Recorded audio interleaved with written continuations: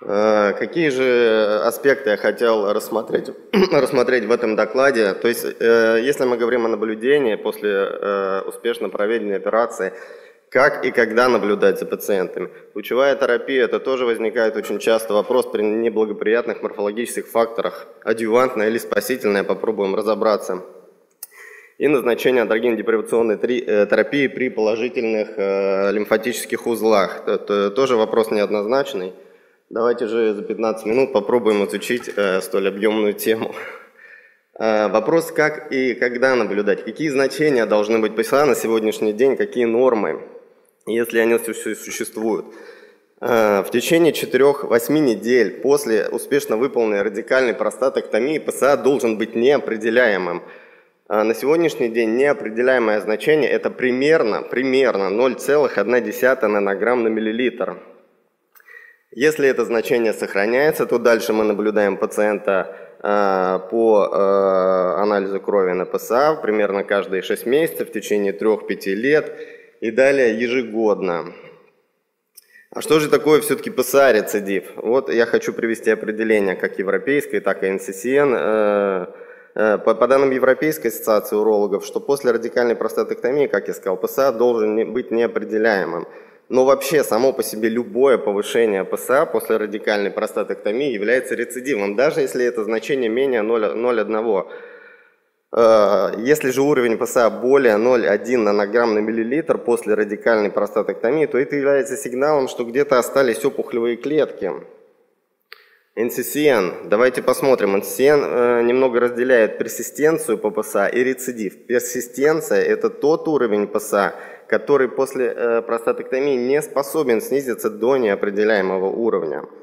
А вот рецидив – это когда неопределяемый уровень ПСА с последующим повышением при двух и более измерениях, или когда значение достигает 0, более 1 нанограмм на миллилитр. Но есть одно «но».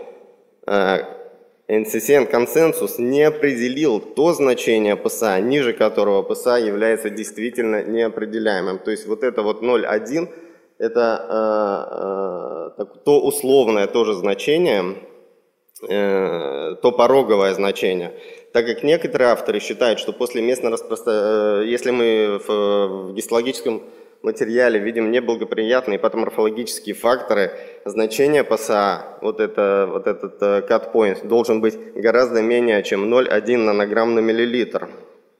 Конечно, тут свои коррективы вносят э, развитие э, технологий диагностики, в данном случае по ПЭТ-КТ. И обратите внимание, что э, при ПСА даже менее чем 0,2 нанограмм на миллилитр можно Э, предположить, что э, опухолевые клетки э, существуют уже в 33% случаев. Повышение ПСА, в связи с чем же оно связано? Это может быть результатом персистирующего местного заболевания, ранее существовавших метастазов или остаточной доброкачественной ткани предстательной железы после простатоктомии. В данном случае иногда помогает еще разобраться группы риска э, биохимического рецидива, так на чем же они основаны. К группе низкого риска относится э, та категория пациентов, у которых время удвоения ПСА более одного года и, патолог... Э, и, и СУП э, грейд менее 4. Если же ПСА, время удвоения ПСА менее одного года или ИСУП грейд 4-5, то это группа высокого риска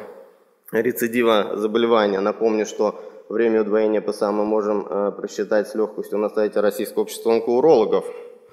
Э, все эти данные были валидизированы в одном из немецких исследований, и было доказано, что э, время до развития метастазов, посмотрите, обратите внимание на синюю кривую, гораздо, гораздо хуже выживаемость у тех пациентов, которые относятся к группе высокого риска биохимического рецидива, так же, как и точно так же была доказана канцер-специфическая выживаемость. На основании э, этих групп были сформированы выводы, что короткое время удвоения ПСА и высокий показатель Глисона после радикальной простатоктомии являются основными факторами, оказывающими негативное влияние на выживаемость. Давайте, не давайте представим, а давайте вспомним, когда мы держим в руках гистологическое заключение – видим как раз неблагоприятные патоморфологические характеристики. Местно распространенный процесс, положительный хирургический край. Мы начинаем отсутствие лимфоузлов, отсутствие позитивных лимфоузлов, и мы начинаем задумываться, а может быть стоит провести э, лучевую терапию э, этому пациенту, а может быть не стоит, а может стоит подождать. Всем, наверное, известные четыре исследования СВОК, ЮРТС, РО и финское исследование, которое изучило, изучило роль адъювантной лучевой терапии – как раз при тех э, неблагоприятных патоморфологических характеристиках, местно распространенная стадия, возможно, положительный хирургический край или края, где проводилась адювантная терапия в дозе 60 или 66 грей по некоторым исследованиям. Да, безусловно, была доказана СА безрецидивная выживаемость. Э, примерно на 20% были лучшие результаты в, группы, в группах проведения адювантной э, лучевой терапии. Но посмотрите, результаты, э, правая колонка, результаты по э, общей выживаемости, они не различаются, не различаются, и это надо понимать.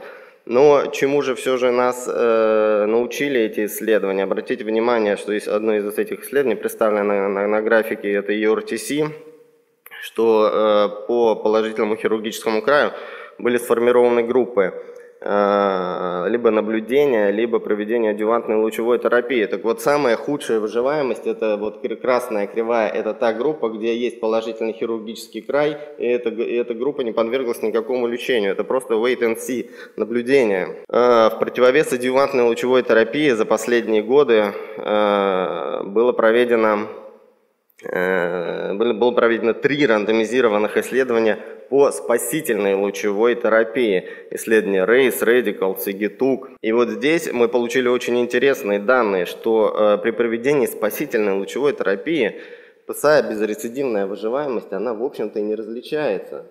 Да, здесь немножко э, противники этих исследований говорят о том, что это пятилетние результаты и требуются более длительные результаты и оценка не только ПСА безрецидивной выживаемости. Но тем не менее и в выводах этих исследований и даже проведен вот метаанализ с заключением, что авторы считают, что раннюю спасительную лучевую терапию следует рассматривать как стандарт медицинской помощи. рекомендации должны быть пересмотрены. Опять же, не представим, опять же вспомним ситуацию, когда в гистологическом заключении мы с вами видим позитивные лимфатические узлы, и мы начинаем задумываться – а надо ли проводить гормональную терапию? Стоит ли назначать? При каком количестве лимфоузлов? Давайте попробуем и здесь разобраться. Одним из первых, одним из основоположников, кто изучал этот вопрос, это был э, Эдвард Мессинг и его исследования э, по поводу немедленного или, отсло, или отсроченного лечения антроген-депривационной терапии у пациентов с метастазами в лимфоузлах после радикальной простатэктомии и тазовой лимфоденоктомии. Небольшая когорта, 98 пациентов. Исследование э, также немножко критикуется на сегодняшний день ввиду того, что группы были крайне неблагоприятными. Посмотрите, что вот 47 пациентов в группе андрогенно-депривационной терапии, 51 пациент в группе наблюдения. Посмотрите, какова частота, какая, какова же высокая частота положительного хирургического края. Инвазия семенных пузырьков и, э, в общем-то, частота и количество пораженных лимфоузлов тоже было довольно большое. Слишком большая вариабельность. А, следующим, да, но тем не менее, Эдвард Мессинг смог доказать, что немедленная гормональная терапия, она улучшает результаты улучшает результаты лечения, как ПСА э, безрецидивной э, выживаемости в последующем, так и э, канцер-специфическая выживаемость была лучше, что представлено на графике.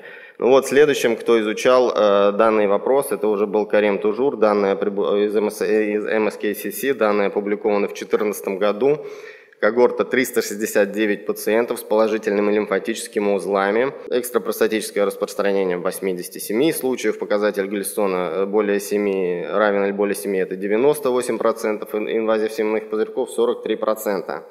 Так вот, э, Карим Тужур стратифицировал пациентов по количеству лимфоузлов, по количеству пораженных лимфоузлов. 1, 2 и 3 и более лимфоузлов. Так вот, вероятность отсутствия биохимического рецидива была лучше в группе у тех пациентов, у которых был поражен всего лишь один или два лимфоузла. И, конечно, гораздо выше вероятность рецидива в том случае, если поражено три и более э, лимфатических узлов. Э, и вот на этом графике как раз представлена и вероятность э, выживаемости без метастазирования э, в зависимости от количества пораженных лимфоузлов. Выводы, которые сделал, выводы сделали, которые авторы этого исследования, что значительная подгруппа пациентов с положительными, э, с позитивными лимфоузлами оставалась свободной от заболевания через 10 лет после радикальной простатэктомии и двусторонней расширенной тазовой лимфоденоктомии без адъювантной андроген-депривационной терапии. То есть это то, что я показал на графике, это один или два лимфоузла. Пациенты с суммой глисина менее, 8, менее чем 8, отрицательным хирургическим краем и низкой метастатической нагрузкой в лимфоузлах представляют довольно, довольно благоприятную группу. И вот в данном случае подклассификация риска для пациентов с положительным, с позитивными лимфоузлами может быть оправдана и помогла бы определить э, роль дальнейшей адъювантной терапии. Я хочу сказать, что тема довольно объемная и, э, конечно, зачастую трудно бывает принять решение. Трудно, особенно когда э, при биохимическом рецидиве по данным ПЭТ-КТ Э, мы с вами видим, не, не видим никаких, никакого субстрата для дальнейшего воздействия, и это действительно трудно принять решение. Поэтому я желаю нам всем продолжать черпать знания и из источников литературы и постараться уж принять в последующем правильное решение. Спасибо. Спасибо, Алексей Владимирович. Очень, мне кажется, структурно правильно сформированное сообщение на такую достаточно сложную, обширную тему. Э, я правильно понимаю, что мы все-таки на сегодняшний день говорим о том, что спасительная лучевая терапия все-таки лучше, чем проведение адъювантной лучевой терапии, и адъювантной гормональной терапии следует проводить при большом объеме поражения, в частности по э, лимфогенному, по лимфогенному метастазированию. Алексей Михайлович, спасибо за вопрос. Лучше однозначно ответить тут не могу, но могу подчеркнуть действительно, что лучше я не, не представил эти данные в плане э, лучевых осложнений, в плане восстановления эректильной функции, э, в плане структур уретры. Действительно это доказано, что спасительная лучевая терапия имеет э, с, с этой точки зрения более э, благоприятным э, так сказать, моментом. Но, как я сказал, здесь э, требуется однозначно более долгосрочные результаты исследования. Ведь 5 лет, э, на мой взгляд, это все-таки не так много, поэтому будем ждать десятилетних результатов и не только результатов по ПСА безрецидивной, но и по канцероспецифической и по общей выживаемости.